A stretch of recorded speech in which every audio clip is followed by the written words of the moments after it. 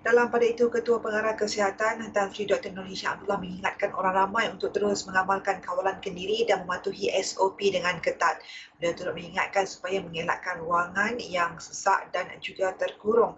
Peringatan itu menyusul kelonggaran yang diumumkan kerajaan kepada negeri-negeri fasa 1 dalam pemulihan negara yang membenarkan makan di restoran atau dine-in selain kebenaran aktiviti sukan, rekreasi dan riadah tanpa sentuhan fizikal dan bukan berkumpulan.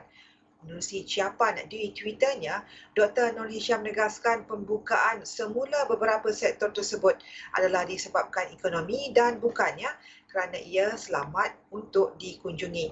Beliau pada masa sama turut mendesak supaya mendapatkan vaksin dengan segera.